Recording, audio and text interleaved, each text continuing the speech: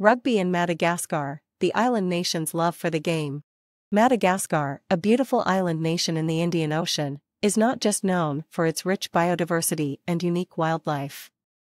The country has a deep-rooted love for rugby, a sport that has grown in popularity over the years. In this article, we will explore the passion for rugby in Madagascar and some of the key figures and teams that have helped shape the sports landscape in the country. The growing popularity of rugby in Madagascar. Rugby was introduced to Madagascar in the early 20th century by French settlers. It didn't take long for the sport to gain traction among the locals, who embraced the physicality and camaraderie of the game.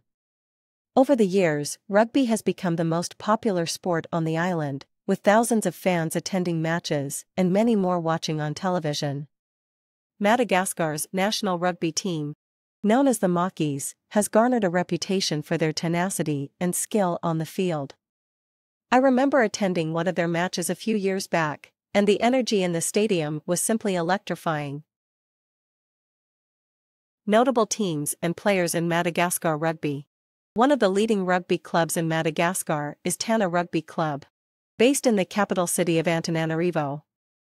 The club has produced several talented players who have gone on to represent the national team. Among them is Toko Rakotoarisoa. A talented winger known for his speed and agility.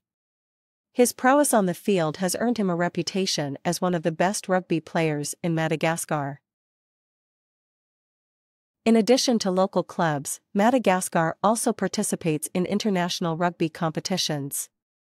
The Makis have competed in the Rugby Africa Cup, and have been close to qualifying for the Rugby World Cup on a few occasions. The team's hard work and dedication is truly inspiring and continues to motivate young rugby enthusiasts in the country. The future of rugby in Madagascar. With rugby's popularity continuing to grow in Madagascar, the future looks promising for the sport. Initiatives such as World Rugby's Get Into Rugby program have been instrumental in introducing the game to children at the grassroots level, providing opportunities for boys and girls to learn the fundamentals of the sport. Moreover, the commitment of local clubs and the national team to develop homegrown talent will only serve to strengthen Madagascar's rugby prowess in the years to come. In conclusion, rugby is more than just a sport in Madagascar, it's a way of life that unites communities and instills a sense of pride among its people. As a sports journalist who has had the privilege of witnessing the growth of rugby on this beautiful island, I am excited to see what the future holds for Madagascar's rugby scene. Rugby in Madagascar, the island nation's love for the game.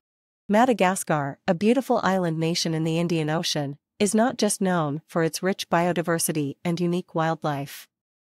The country has a deep-rooted love for rugby, a sport that has grown in popularity over the years. In this article, we